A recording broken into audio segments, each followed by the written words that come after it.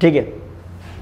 तो 2.1 part two question number four determine whether the values of the coordinate equation are the roots of the equation ठीक है? अब बताना है कि ये उसके, बाजू में उसके रूट दिए हुए अगर वो रूट है या नहीं, हमको फाइंड करना है। ठीक है? तो अगर यहाँ पे ज़ीरो है राइट साइड में लेफ़्ट साइड में भी अगर ज़ीरो आया तो समझ जाने का वो उसका रूट है, नहीं तो नहीं है। तो एल एच एस लेंगे। L H S left hand side ठीक है? X square plus four X minus five ठीक है? इज़ इक्वल टू के इस साइड वाला ले रहे हैं इज़ इक्वल टू मत लिखना। एक्स की वैल्यू देखो, यहाँ पे वन दिया है। बाकी प्रैक्टिस के लिए मैंने थोड़ा एक एक छोड़ दिया है, वो कर लेना। एक्स की वैल्यू वन है तो यहाँ पे आएगा वन का स्क्वायर फोर इंटू एक्स की वैल्यू वन है माइनस फाइव जहाँ पे एक्स दिख रहा है, वहाँ पे मैंने वन डाला। और ये भी नाइन्थ में था। वन का स्क्वायर वन फोर वन ज़ा four minus five four plus one five minus five five minus five कितना हो गया? ज़ीरो और आर एच एस भी अपना कितना है? ज़ीरो इसलिए L H S is equal to R H S so X is is equal to one is a root of given quadratic equation ठीक है? ऐसे ज़ीरो आना चाहिए। ज़ीरो आया तो है, नहीं आया तो लिखने का। X is equal to one is not a root of given quadratic equation होगा तो हाँ नहीं होगा तो नहीं हो। ये तुमको करना है। समझ में आ गया? ये भी तुम कर सकते हो, लेकिन कोई बहुत लोगों का रहता है कि, सर, अपॉन वाला बता दो एक। पेपर में आने वाला नहीं है ये। फिर भी ले रहा हूँ मैं। यहाँ पे एस देखो। L H S is equal to two M square minus five two in two M की वैल्यू देखो, यहाँ पर दिया है। ये तुम्हारा वैल्यू डालना है। फाइव अपॉन टू वहाँ पे स्क्वायर है, इसलिए यहाँ पे क्या करना है? Square minus five in two M की वैल्यू फाइव अपॉन टू फिर याद रखना, ये टू को टू कट नहीं होगा, क्योंकि पहले स्क्वायर है। हाँ ऐसे रहता तो वो कट हो जाता। बट यहाँ पे भी पहले स्क्वायर करना पड़ेगा, फिर कट करना है। टू के जगह पे टू फाइव का स्क्वायर कितना होता है? ट्वेंटी फाइव टू का स्क्वायर कितना होता है? फोर फाइव फाइव ज़ा twenty five upon two five five ज़ा ट्वेंटी फाइव नीचे टू टू वन ज़ा टू टू ज़ा फोर बीच में प्लस रहता तो कट नहीं होता, बीच में इंटू है, इसलिए कट हो रहा है। ठीक है? बचा तुम्हारा ट्वेंटी फाइव वन ज़ा twenty five upon two minus twenty five upon two देखो दोनों सेम है ट्वेंटी फाइव में से ट्वेंटी फाइव क्या ज़ीरो टू में से टू मतलब सेम है। ये क्या हो जाएगा? कैंसर कितना आएगा? ज़ीरो और आर एच एस भी हमारा कितना है? ज़ीरो इसका मतलब हो गया L H S is equal to R H S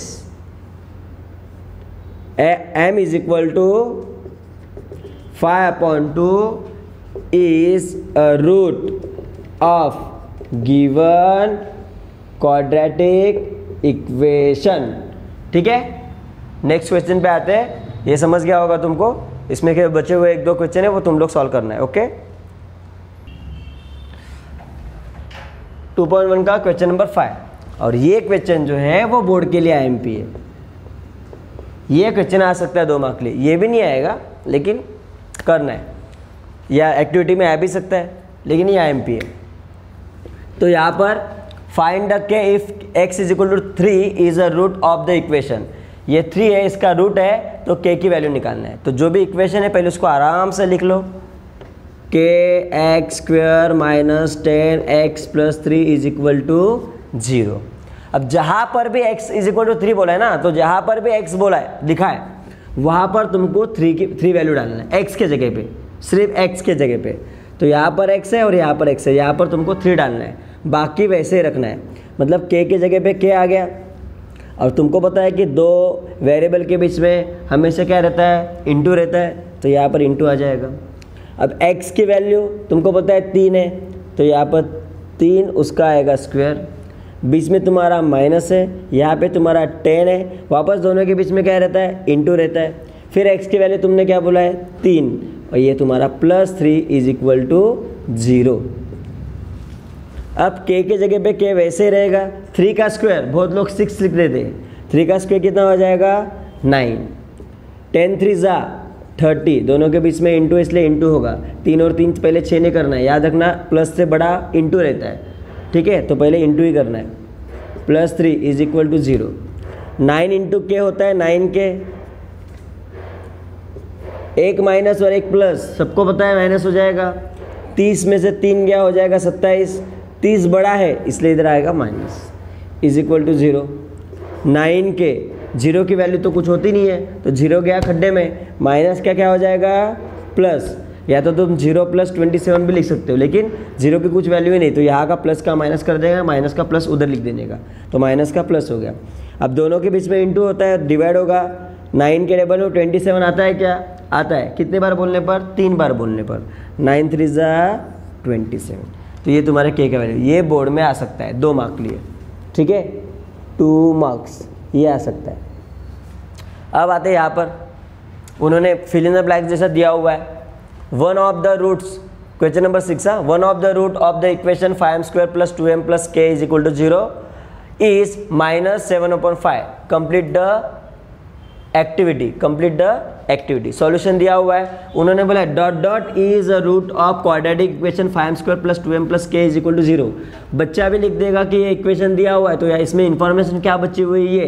तो ये तुम्हारा सॉल्यूशन उन्होंने बोला है तो यहाँ पे लिख देने का सेवन अपॉन फाइव अब वो हो गया। अब उन्होंने बोला put m is equal to dot dot in the equation मतलब m की वैल्यू ये, इस इक्वेशन में पुट करो। m की वैल्यू क्या है? ये है ना?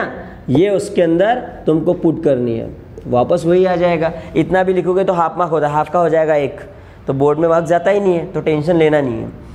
उसके बाद ये तुमको दिया नहीं था, देखो एक्टिविटी में, ये तुमको दिया नहीं था, मैंने लिखा, क्योंकि तुमको समझने के लिए कि जो भी इक्वेशन दिया रहता है, उस इक्वेशन को पुट करने का। मैंने यहाँ पर भी पुट किया था। जो इक्वेशन दिया रहेगा, वो इक्वेशन यहाँ पे वैसे का वैसा लेना है। उन्होंने किताब वाले में नहीं दिया है। तुमने भी नहीं लिखा तो चलेगा, लेकिन समझने के लिए। पहले हम लोग ने वो इक्वेशन को लिख देने का। ठीक है? अब ये तुम्हारा फाइव है। दोनों के बीच में इंटू होता है। अब यहाँ पे बॉक्स है। बॉक्स से मतलब ये वैल्यू डालना है। माइनस सेवन अपॉन फाइव ऊपर क्या आएगा? स्क्वेयर क्योंकि यहाँ पे स्क्वेयर है। ठीक है? अब आते हैं। टू इंटू वापस एम की वैल्यू क्या आएगी? Minus seven upon five clear हो गया? अब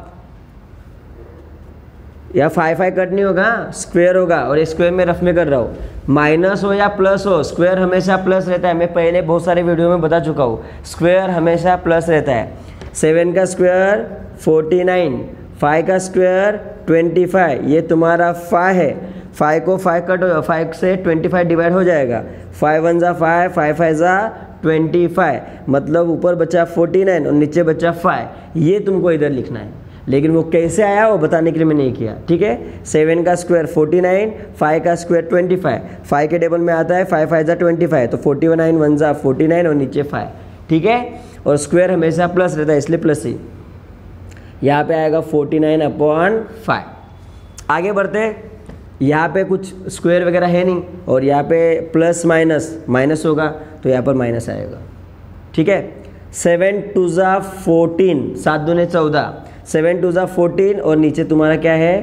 फाइव। अब डिनोमिनेटर सेम है। ठीक है? डिनोमीटर सेम है तो हम लोग पढ़ चुके हैं। डिनोमीटर अगर सेम होंगे, फाइव अपॉइंट टू होगा, थ्री अपॉइंट टू होगा तो हम लोग एक बार लिखते हैं। पाँच और तीन कितना कर देते? आठ। और अगर माइनस रहेगा तो पाँच में तीन क्या कितना करते? दो। ऐसे कर देते तो डिनोमिनेटर सेम है। डिनोमीटर सेम है मतलब एक बार। और ऊपर का प्लस होगा, लेकिन यहाँ पे क्या है? माइनस। तो 49 में से 14 जाएगा। 49 माइनस फोर्टीन। ठीक है? 49 में से 14 गया, कितना बचा? 35 कितना बचेगा? 35 स्टेप लिख देता हूँ, मंगता है तो। 49 माइनस फोर्टीन, नीचे डिनोमीटर एक बार। हाँ ये ऐसे रफ में लिख रहा हूँ, समझने के लिए। फिर 49 में से 14 गया तो आएगा 35 तो मैं यहाँ पे रफ में ऐसे लिख रहा हूँ। पेपर में तुमको लिखने की गरज नहीं है। Thirty five upon five. फिर फाइव के टेबल में थर्टी फाइव आता है आता है कितने बार बोलने पर? सेवन बोलने पर। फाइव सेवन ज़ा थर्टी फाइव तो डायरेक्ट सेवन लिखना था, लेकिन तुमको मैंने समझने के लिए लिखा हुआ है। डिनोमिनेटर सेम है, एक बार। फोर्टी नाइन और चौदह, इसमें माइनस इसलिए माइनस होगा।